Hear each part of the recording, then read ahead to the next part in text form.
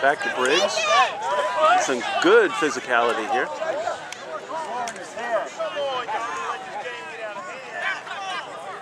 Back to Ortolano to Tontillo, who wanted to take a shot, but couldn't get a clear perspective. Back to Ortolano. Ortolano is just going to slow it down, rotate around, draw everyone's eyes. He's circling, running around the net. We have Tamburo in motion. Goes back over to Briggs. Briggs moving toward the goal. He takes a shot. It's in!